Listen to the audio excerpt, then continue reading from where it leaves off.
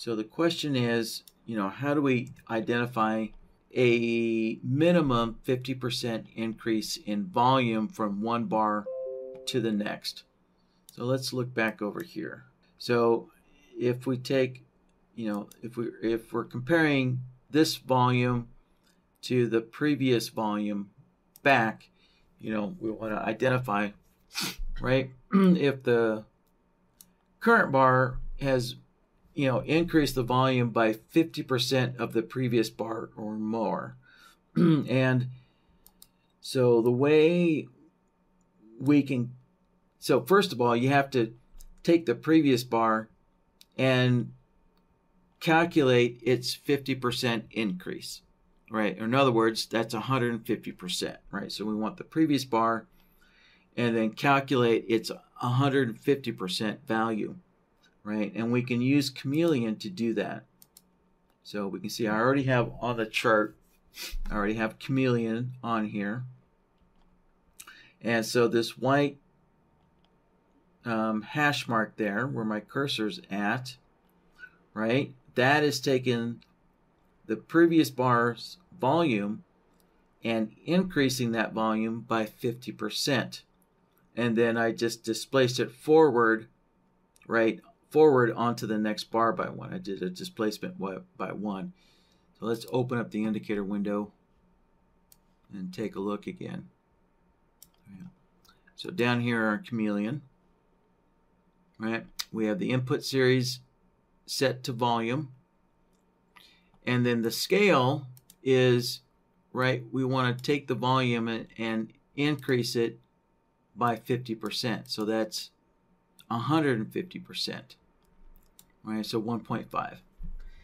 And then as I mentioned, I displace it by one, right? That way the the plot actually sits on top of the bar. So for visually, you know, visually looking at it, you know, it's a little easier to, to visualize there. And of course, I changed the panel.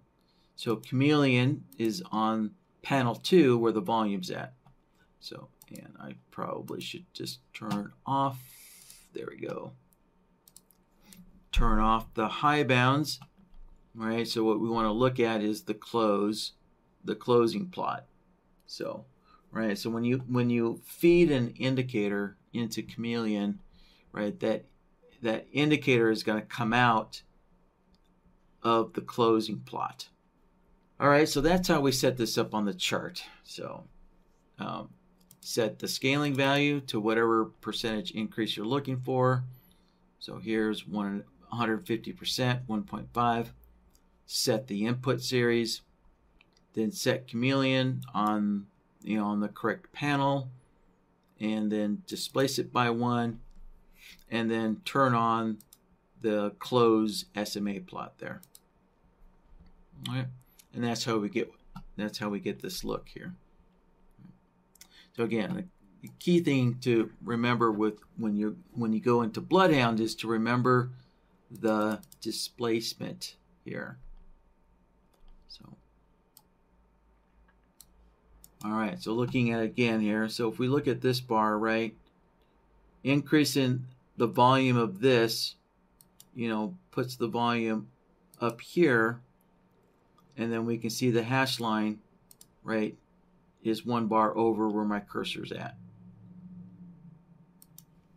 So now we can just simply, so now we're going to compare, right, the volume of the current bar to chameleon down here, right? And make sure that the volume is greater. And that way we know that we've had at least a 50% increase in the volume. So, right, same thing over here um, on this bar to the right. All right, so let's open up Bloodhound. And let's go to our logic tab and let me make a new logic here. All right, so we're looking for a 50% volume increase. So we're going to grab a comparison solver. So we're going to go to the default time frame. So remember, one of my other questions used a one minute time frame. So now we have to go to the default time frame and grab a comparison solver. Let's connect that in. There we go. Okay, so now that we have our comparison solver named here, let's see. All right, so input A, well, that's going to be the volume, right? Um, the volume of the current bar. And we actually have a volume input type. So we can just set the type to volume, you know, but you could also, you know, keep it on indicator value and just find the volume indicator if you wanted. Um, you know, it's all the same. So, all right, so volume is input A, and then input B is chameleon, you know, set up the same way that we set it up on the chart. All right, so let's go input B.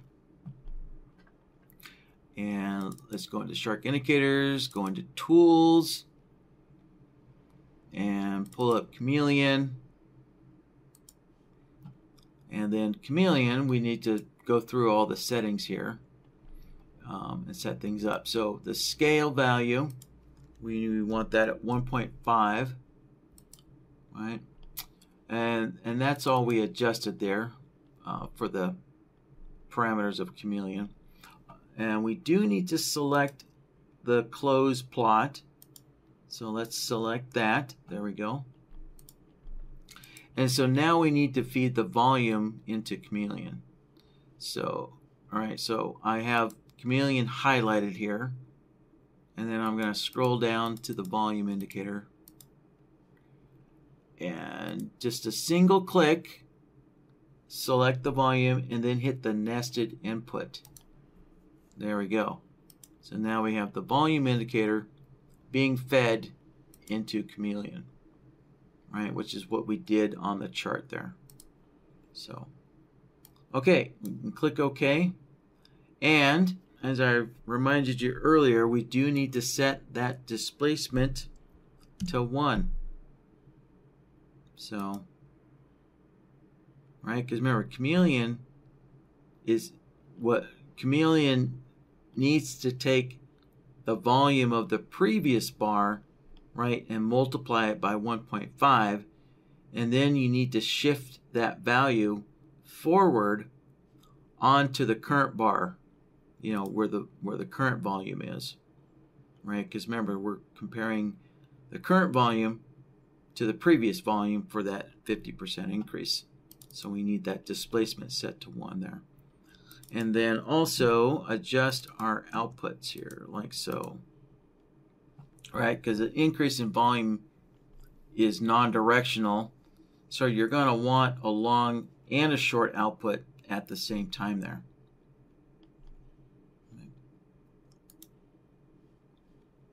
So there we have it. And so now we can see on the chart, yeah, so every volume bar where the volume is greater than the white hash line, right? That is what's going to be marked by the Bloodhound racing stripes. So there we have it. Pretty straightforward there.